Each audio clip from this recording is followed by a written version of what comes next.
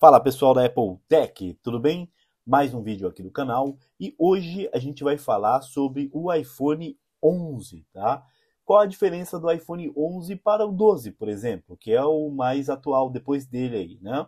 Qual que é a diferença entre o 11 e o 12 e se vale a pena ainda adquirir um iPhone 11 em 2023 para utilizar aí durante este ano ou próximo ano, enfim.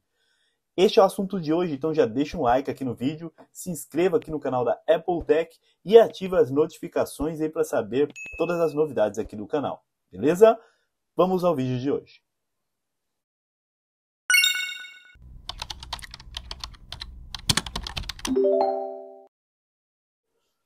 Bom, pessoal, olha só, tô aqui com o iPhone 11 na mão. Este iPhone aqui, ele tem 128 GB e é o iPhone 11 normal, tá? Olhando assim, parece muito com o iPhone 12 também. Tem umas bordas aqui um pouco maior, ele é um pouco arredondado, mas a traseira parece um pouquinho, né? Enfim, este é o iPhone 11 e este é o iPhone 12. A gente vai falar sobre a diferença entre os dois aparelhos e se vale a pena ainda adquirir o iPhone 11, né? Agora em 2023, tá? Antes, um pequeno recado, se você tiver qualquer dúvida ou pergunta, pode mandar neste vídeo aqui que eu sempre respondo todo mundo, ou de repente pode ser sobre este assunto ou sobre qualquer assunto. É só mandar no, nos comentários aí que a gente sempre responde, beleza? Ó, o iPhone 12 ele foi lançado em outubro de 2020, enquanto o iPhone 11 ele foi lançado em 2019. Tem aí uma diferença de um ano, tá? Esses dois aparelhos foram lançados com os processadores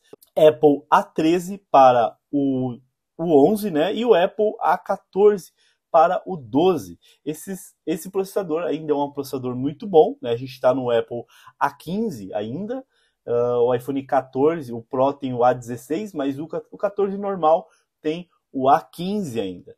Ó, os dois de, de peso dá para perceber que tem um pezinho diferente, tá? Parece que o 11 ele é um pouco mais uh, pesado. Uh, ele tem 194 gramas e o 12 tem 164 gramas. Deixa eu só trocar para cá, tá? Para vocês também verem melhor aqui o 12. Esse aqui é o 12, ele tem aqui uma carcaça mais é, mais quadradinha, né? É, parece muito lá com aquelas carcaças de antigamente do iPhone 5, 4S. Olha só, os dois aparelhos, a diferença da tela é a mais importante desses dois aparelhos. O 12 ele tem uma tela uh, Super Retina, né, OLED, de 61 polegadas. O tamanho é o mesmo, só que esse aqui ele tem uma tela de LCD, que deixa a qualidade um pouquinho mais inferior, tá? Mas não tão inferior assim, dá para utilizar ainda normalmente. Tá? Os dois têm aquela capacidade de resistência à água, que é o IP68, os dois são iguais nesse sentido, e os dois atualizaram para o iOS 16, tá? Ou seja, os dois estão super atuais e vão continuar atuais, né? Depois no final do vídeo eu vou falar para vocês até quando que esse mais ou menos vai atualizar. E aí a gente já fala também do 12 aí, se você tiver interesse. Bom, olha só, o 11 ele foi lançado com o tamanho de 64 GB, 128 e 256. Enquanto o 12 ele também foi lançado com praticamente a mesma coisa, 64, 128 e 256. 56. Os dois possuem 4 GB de RAM, isso que é muito legal. Sobre as câmeras é bem parecido, tá? Então o 11 ele tem uma câmera de 12 megapixels atrás, tá? É, e também tem uma ultra wide de 12 megapixels também. Essa, essa mesma coisa. Tem o ultra wide também de 12 megapixels. Agora a câmera frontal, né? A câmera selfie, que é essa câmera aqui da frente, também é uma câmera de 12 megapixels para os dois filma em 4K, beleza?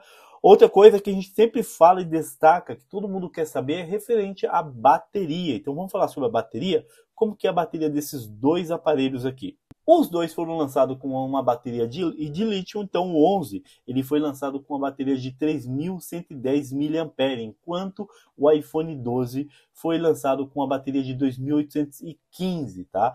Parece que o iPhone 11 tem uma bateria melhor? Parece, mas o processador é que faz a diferença e ele é um pouco mais otimizado para o tipo de bateria. Vamos às cores que foram lançados?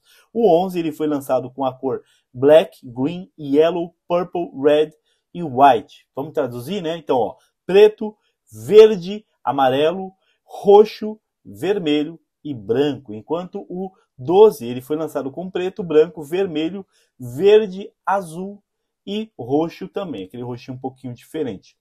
Agora sim, o que todo mundo pergunta, vou até tirar o 12 aqui um pouco daqui, é que quanto tempo que eu consigo utilizar esse aparelho aqui se eu comprar em 2023? Vale a pena comprar e quanto tempo que eu consigo usar ele por mais aí quanto, quantos anos? Ou primeiro a gente precisa saber quanto tempo que ele ainda vai atualizar.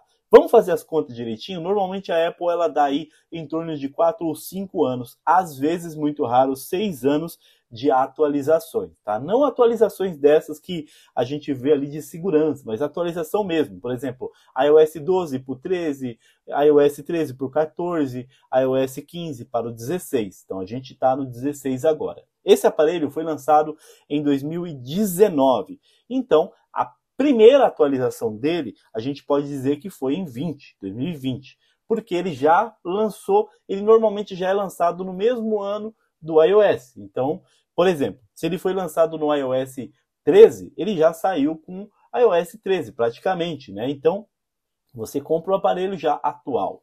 Então, vamos contar que são cinco anos, então 2020, 21, 22, a gente está em 23, já são quatro anos de atualização. Então ele tem mais próxima atualização e aí vai ficar né, encarregado a Apple aí.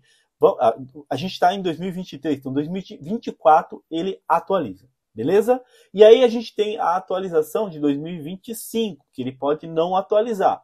Mas pensa assim, olha, passou 23, se já usou o aparelho 23, passou 24 que ele atualizou, e aí 25, porque ele chegou no final do ano. Então são três anos usando já, né?